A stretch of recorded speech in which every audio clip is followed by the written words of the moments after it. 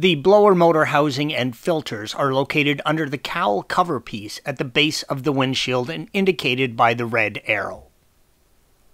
Begin by pulling up and removing the rubber seal that runs along the divider between the engine bay and the HVAC system, red arrow.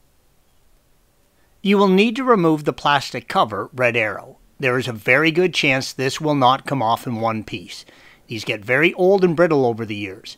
If you have not removed it lately, there is a good chance you will damage it and need to replace it when removing.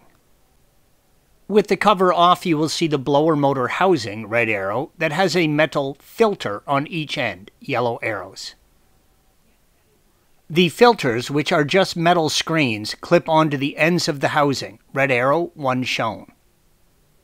Unclip the screen and maneuver it out, red arrow. A lot of people like to make their own filters for the airbox screen.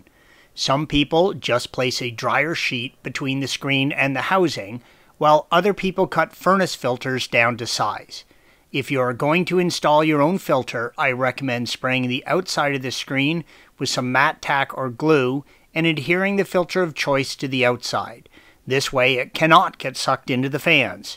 If you ever want to return the screen to its original condition, just scrape the homemade filter, sand, paint the metal screens, and you're done. Thanks for watching. Be sure to subscribe to our channel and check out another video in this series.